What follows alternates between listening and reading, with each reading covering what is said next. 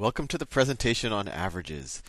Average is, probably a concept that you've already used before, maybe um, not in a mathematical way, but you know people will talk in terms of the average voter wants the politician to do this, or the average student in the class uh, wants to get out early. So you're probably already familiar with the concept of an average, and um, you, you probably already intuitively knew that an average is just a number that represents uh, the different the different values that a, a, group could have, but it can represent that as one number as opposed to uh, giving all of the different values. And let's give a couple of examples of how to compute an average, and you might already know how to do this. So let's say I had the numbers one, uh, three, five, and twenty, and I asked you what is the average of these four numbers. Well, what we do is we literally just add up the numbers and then divide by the number of numbers we have. So we say 1 plus 3 is 4. So let me write that. 1 plus 3 plus 5 plus 20 equals, let's see, 1 plus 3 is 4. 4 plus 5 is 9. 9 plus 20 is 29, right? And we had four numbers 1, 2, 3, 4. So 4 goes into 29. And it goes to 7. 728. And then we have uh, 10. Well, I, I, didn't have to do that decimal there, but I'll, 2, 8, 25. So 4 goes into 29 7.25 times. So the average of these four numbers is equal to 7.25. And that might make sense to you because 7.25 is is is uh, someplace in between these numbers, and we can kind of view this 7.25 as one way to represent these four numbers without having to list these four numbers. Uh, there are other uh, representations you'll learn later on, like the mode. Um, you'll also see that the the the mean, which uh, we'll talk about later, is actually the same thing as the average. But the average is just one number that you can use to represent a set of numbers. So let's do some problems which I think are going to be close to your heart. Let's say on the first four tests of an exam, I got, a, let's see, I got an 80, 80, an 81, an 87, and an 88. What's my average in the class so far? Well, all I have to do is add up these four numbers. So I say 80 plus 81 plus 87 plus 88. Well, 0 plus 1 is 1. 1 plus 7 is 7. Se- uh, 1 plus 7 is 8. 8 plus 8 is 16. I just ran 8 miles, so I'm a bit tired. And then you have 4 eighths, so that's 32, plus 1 is 33. And now we divide this number by 4. 4 goes into 336. It goes into 33 8 times. 8 times 4 is 32. 33 minus 32 is 1. 16, 4. So the average is equal to 84. So depending on what school you go to that's either a B or a C. So, so far, my average after the first four exams is an 84.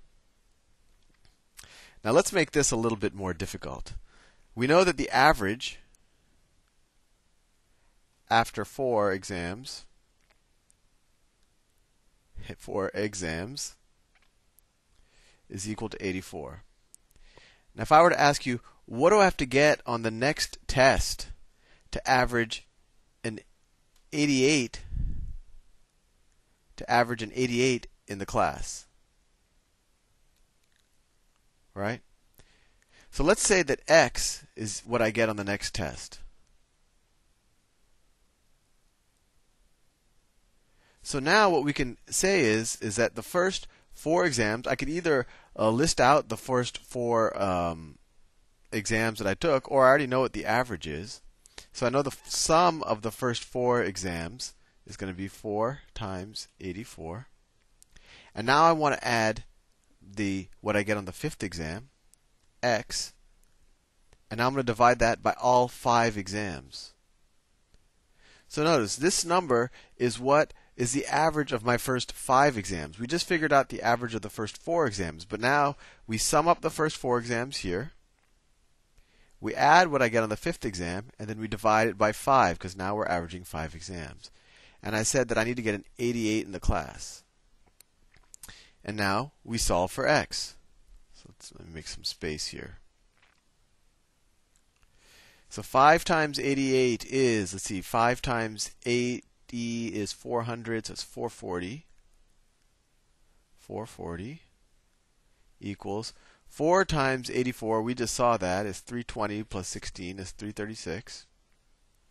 336 plus x is equal to 440. Well, it turns out if you subtract 336 from both sides, you get x is equal to 104. So unless you have a exam that has some bonus problems on it, it's probably impossible for you to get an 88 average in the class after just the next exam. You'd have to get 104 on that next exam.